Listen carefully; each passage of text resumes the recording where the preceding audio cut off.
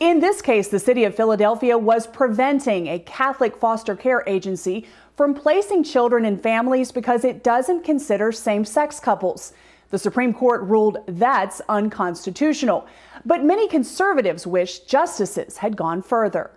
I was praying, God, please, please give a win for the children. This is a win for the children. It was a unanimous decision, with Chief Justice John Roberts writing the opinion in favor of Catholic social services. The refusal of Philadelphia to contract with CSS for the provision of foster care services unless it agrees to certify same sex couples as foster parents cannot survive strict scrutiny and violates the First Amendment.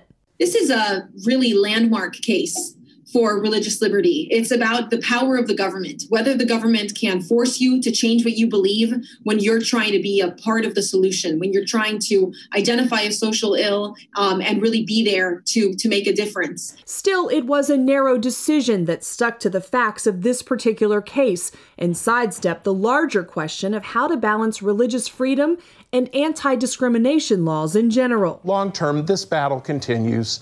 Uh, the, the LGBT side is anxious to stop people from disagreeing with their worldview about what's moral and what isn't. The City of Brotherly Love was established by William Penn as a haven for oppressed Christians seeking religious freedom. But critics say in this case, the city targeted a Catholic organization.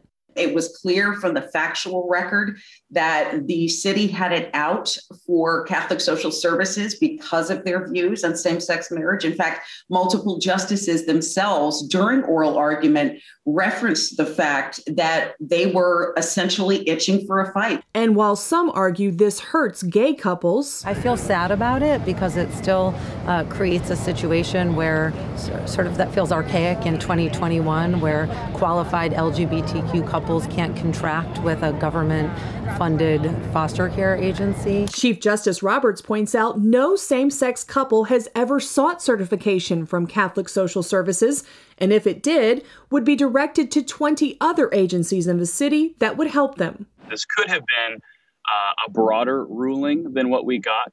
Um, but at the same time, we should be celebrating the ruling that we did get and celebrate they are. Although, again, as many have pointed out, this decision applies only to the city of Philadelphia. The bigger issue of religious freedom and anti discrimination laws has yet to be dealt with. Jennifer Wishon, CBN News.